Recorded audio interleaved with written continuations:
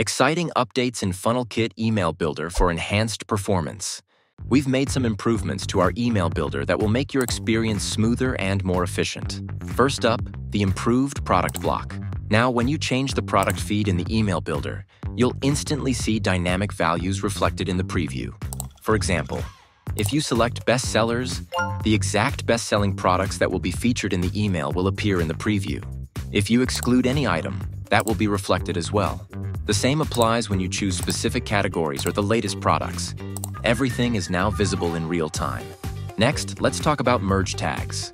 For both order items and cart items merge tags, we've introduced a new type called Product IDs, comma separated.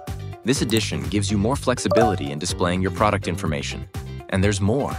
For abandoned cart recovery campaigns, we've made an exciting change. The product images are now linked directly to the recovery link. This means users no longer need to click only on the CTA button. They can simply click on the product image to head straight to the recovery link to complete the purchase. These updates are designed to boost both your workflow and your customer's experience. Ready to start emailing your customers and need help? Shoot us an email at support at funnelkit.com. Happy selling!